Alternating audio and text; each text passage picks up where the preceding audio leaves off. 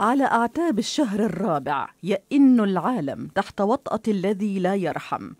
ألعن من الحروب وأخطر من الزلازل وأشرس من البراكين وأفتك بالبشر من التسونامي.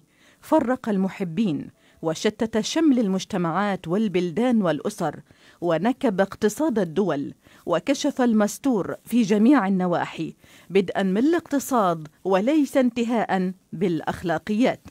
ولكن هناك تساؤل مستمعين أو ربما حقيقة وهي أن البشرية تعرضت على مدار العصور القادمة والسالفة للأوبئة والأمراض وفتكت الطواعين بجميع أنواعها بملايين البشر.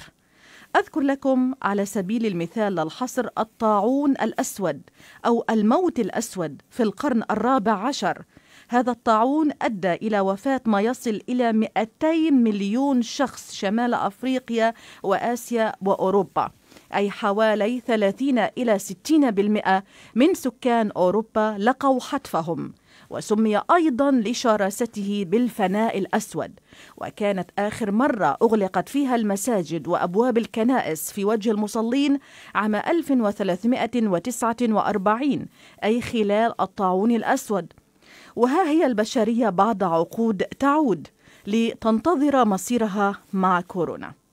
أقل ما وصف مستمعين في الفناء الأسود أو الطاعون الأسود ما قاله ابن خلدون في هذا الوباء حيث قال نزل بالعمران شرقا وغربا في منتصف هذه المئة الثامنة الطاعون الجارف الذي تحيف الأمم وذهب بأهل الجيل وانتقص عمران الأرض بانتقاص البشر فخربت الأمصار ودرست السبل والمعالم وخلت الديار والمنازل وضعفت الدول والقبائل وكأنما نادى لسان الكون في العالم بالخمول والانقباض فبادر بالإجابة وكأنه خلق جديد ونشاه مستانفه وعالم محدث. وكأننا بلسان حال كورونا اليوم يردد نفس العبارة ويريد تغيير خريطة الجنس البشري التي طغى عليها اليوم الظلم والبغي والجشع والطمع والاحتكار والعداء والحروب وسفك الدماء. ولكن نحن المسلمين الموحدين مؤمنون بقضاء الله وقدره بحكمته بقدرته بعلمه الواسع وبالأخص برحمته.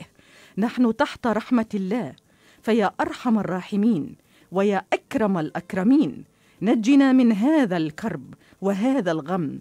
وارفع عنا هذا البلاء لأنك تعلم بضعف قوتنا وقلة حيلتنا. فارحمنا يا أرحم الراحمين. إذاعة صوت القدس صوت حر لشعب حر.